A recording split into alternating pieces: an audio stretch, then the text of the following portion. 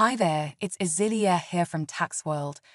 Today I'd like to talk to you about Tax Appeal 133 TACD 2023, which relates to income tax and, in particular, employment of spouse, assessments upheld. This was an appeal by the appellant against amended tax assessments issued by the Revenue Commissioners for 2016 and 2017. The issues were around deductibility of expenses claimed by the appellant and payments made to the appellant's wife and children, which the revenue treated as income of the appellant. The appellant was a doctor who provided his services through his company to a locum agency. The company paid a salary to the appellant's wife and children. The appellant claimed deductions for travel expenses from his home to the hospital he worked at and for rental accommodation near the hospital. He also claimed deductions for his family members' salaries.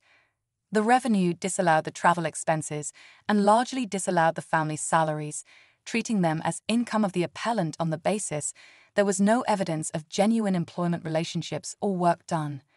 In the appeal, the appellant argued that travel expenses were necessarily incurred in the performance of his duties and the family payments were for genuine work done.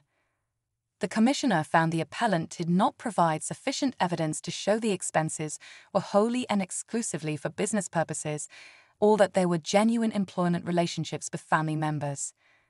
The Commissioner upheld the assessments subject to small reductions based on additional vouched expenses produced during the appeal.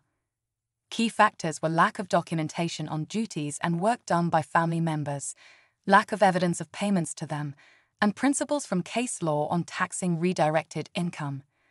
The amended assessments of 53,786 euros for 2016 and 32,285 euros for 2017 were upheld, denying the appellant's appeal.